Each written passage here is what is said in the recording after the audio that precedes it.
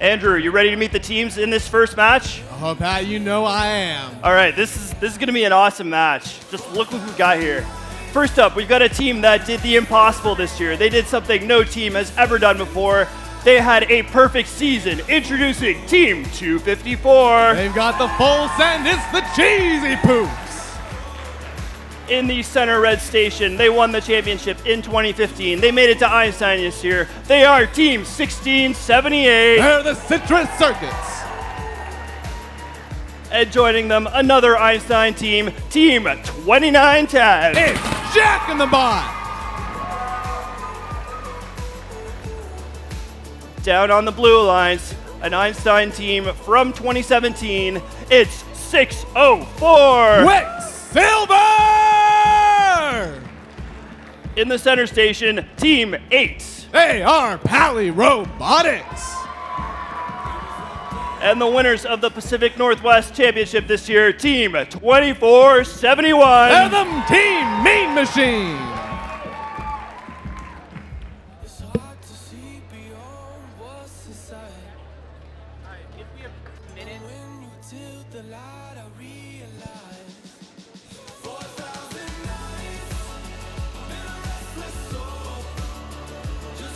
We are ready to start this first match. So, drivers behind the line, three, two, one, power up!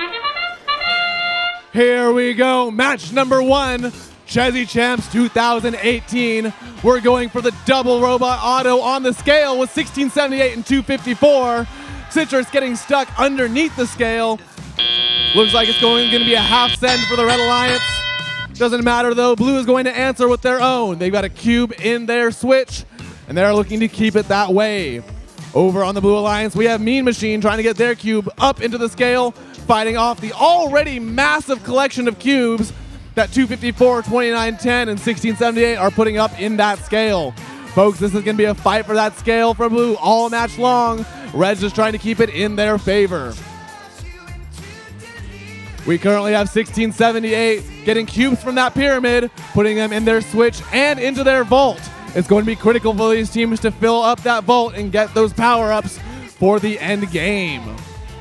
2910, they're jacking the bot. They're putting cubes over into the red side of the Blue Alliance switch, trying to cancel out that blue possession.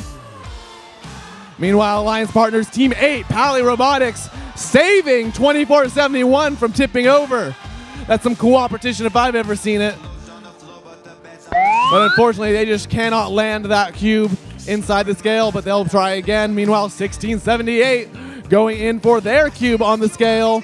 They need to align it perfectly so that they don't really fall off that ramp. They're going a little sideways, but it's clutch. It's good. They got it. 2910 following in suit. Meanwhile, 254, they're getting a cube from their portal, just filling up that red alliance switch. Here we go, 24-71. They're the mean machine. Tipping the scale, uh, unfortunately using their robot, so that doesn't count. If you could do that, it would make this match a lot easier. We're counting down to 30 seconds remaining in the match. Over 150 point differential between these two alliances, but hopefully this end game can even things out. 254 is going for the climb. 2910 also going for a double climb. We've got 2910 up but down. 254 is going to go for a climb as well. It looks like 2471 trying to get that buddy climb with eight in the final seven seconds of the match. 2910 looks like they're up. 254 is up. We've got two robots up on blue, and it's that. That's our match.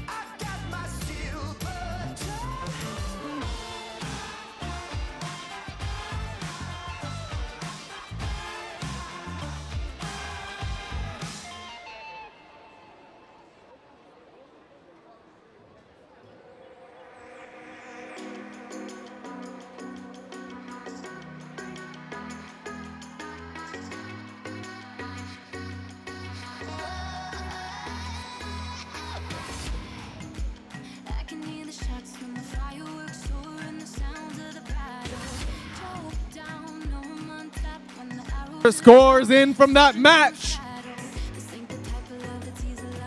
It goes to the Red Alliance 444 to 227. Robo Sports Network, tell us what we just saw.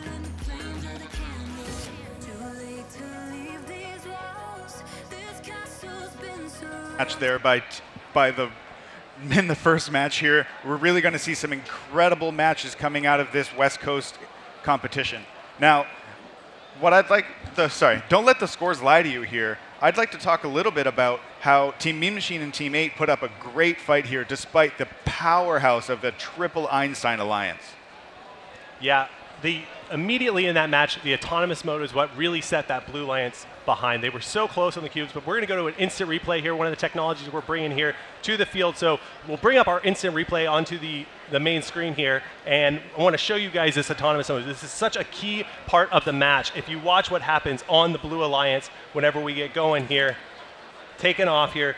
Mean Machine, capable of putting up four cubes. They did it at championship event. We have three of the four cube autos uh, ever in the entire season on the field in this match. But Mean Machine just falling short right here, not able to get those cubes. They're going to come back and get plenty of cubes on the scale, but that alone is going to really hurt them throughout this field. Yeah, it's really hard to recover from that in autonomous, especially uh, when you miss that first cube, um, but then when you miss all the remaining ones after that. So red really had the edge coming out of auton, but they struggled a little bit too. Um, you know, citrus and 254 were in each other's way a little bit, but um, once uh, once they were ahead by three cubes out of auto, it's just really really difficult in this game to come back from that.